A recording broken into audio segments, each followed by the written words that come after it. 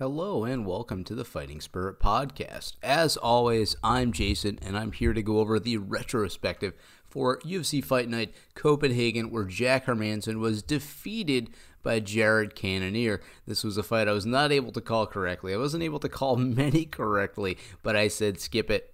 Don't touch this card. Don't touch an international card. So I feel happy about that. I'm not happy about the results, obviously, but I am happy that I told you guys to skip it and uh, skip it. Hopefully you did, and you did. Uh, oh, you know, okay. There were some fights I I saw winning. I was a little surprised, and some fights that uh, I you know just didn't go our way, and we'll talk about them. Here's the show.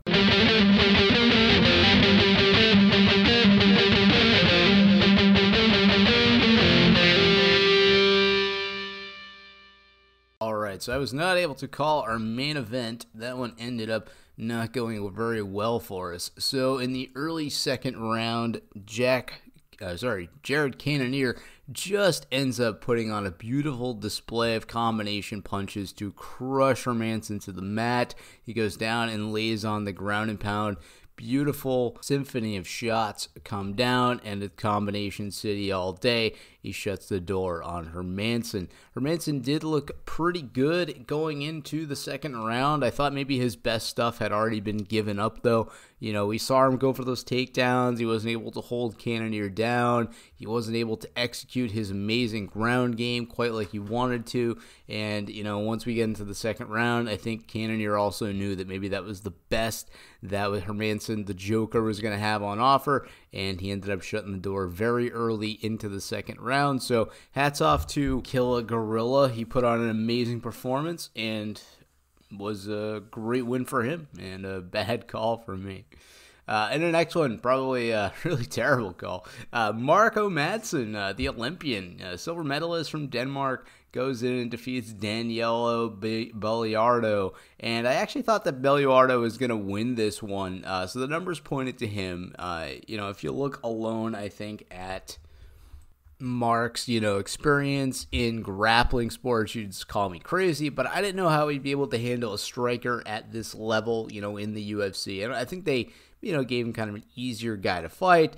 Uh, Belluardo, I, I thought was going to fight a little bit better. He's got a baby on the way. I thought he'd, you know, have his dad's strength up basically to, you know, pick up a win, get that extra money, and uh, go back home and see his kid be born. And it just didn't play out that way. You know, I, I, think he was very concerned about being taken down, thought a lot about it. And Madsen, once he got him down, put on a, uh, you know, Khabib esque smash city. You know, he just kept the elbows coming, kept the fists flying, and he ground Belluardo down till we got a TKO stoppage.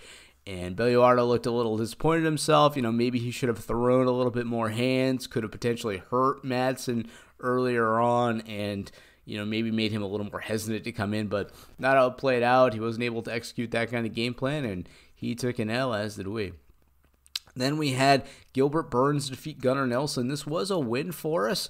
You know, I didn't think Gunny was going to be able to hang with Burns, and we found out that uh, you know Burns basically outclassed him everywhere. I thought Burns was the little bit better striker. That karate stance really got chopped up. Those leg kicks by Burns were just phenomenal. You could see the welting on the Gunny's leg. His calf was pretty bad, and you know Gunnar just did not have it that night. He didn't quite have it on the ground. He executed no takedowns. Um, I didn't think he, except for the end of the first round, he did have a little bit of top control, but with the minimal amount of time left, he just wasn't able to execute uh, his, you know, great game plan that he normally is able to, and we found him outclassed. So we pick up our first W here on that one. Then in one that I did not want to call correctly, but I did. Ion Cutelaba, Cutelaba defeats Khalil Rountree Jr.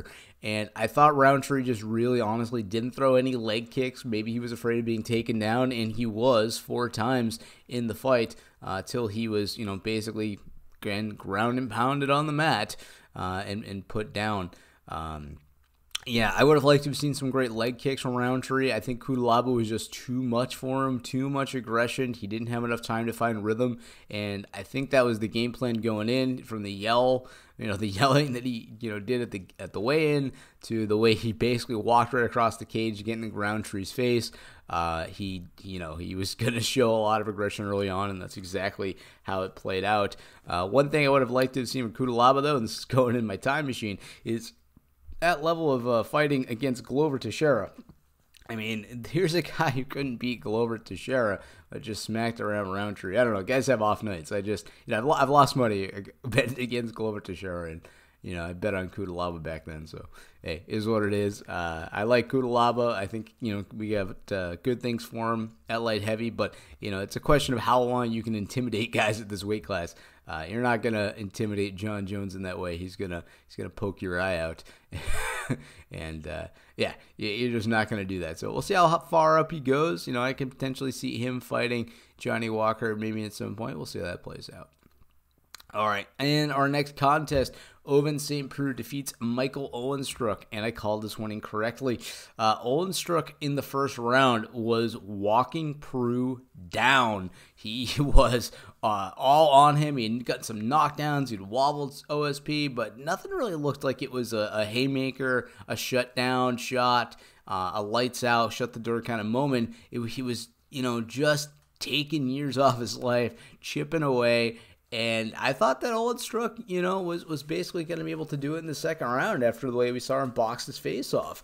But ultimately, that was not the case. St. Preux had, uh, you know, kind of Homer Simpson his way out of the fight. I think Olenstruck kind of punched himself out by the time we get into that second round, and o- OSP takes advantage, gets him on the mat, and executes a great choke, that uh, Von Preux choke, you know, where he just takes his shoulder uh, and just jams it right into the artery in the neck of uh, of Michael Olenstruck, and uh, he shuts the door on him. He's able to, you know, use that big frame of his. Uh, great technique. I can't quite describe the choke, but uh, you know, he he came in great technique, and he was able to execute an excellent choke uh, decision. Sorry, submission victory.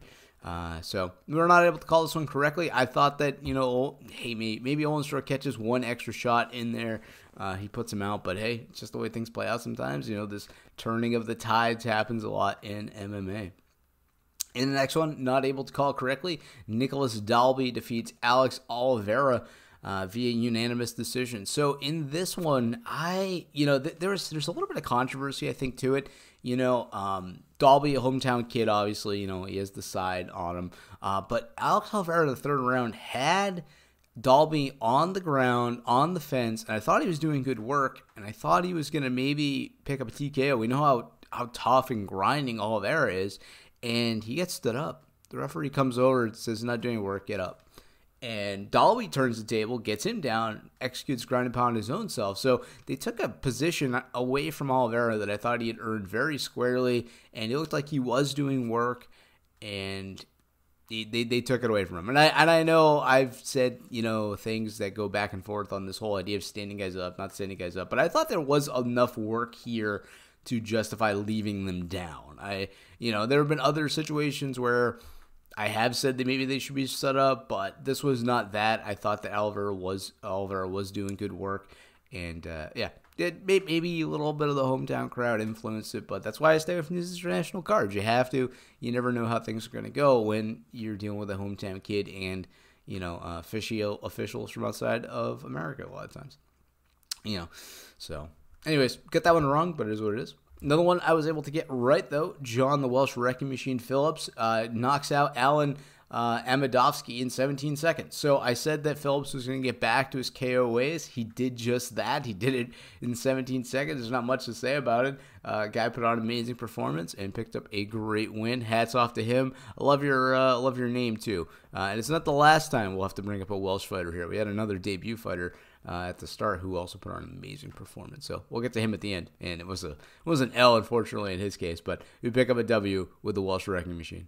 In the next one, we were able to call correctly. We had Mahmoud Muradov defeating Alessio De Kirkio or Circio, and this was, uh, you know, decent fight. I wasn't able to actually see this one. In fact, I wasn't actually able to see the rest of these, so maybe I'll just kind of go over them in quick order instead of trying to make, uh, you know, more out of it than I really can. So uh, he outstrikes him pretty handily, picks up a unanimous decision victory, and we pick up a W. Um, not quite our last W on the day, but uh, getting down to the end of it. Uh, then another one, we had Ismail Nurdiev defeat Sayur Baha Zahara.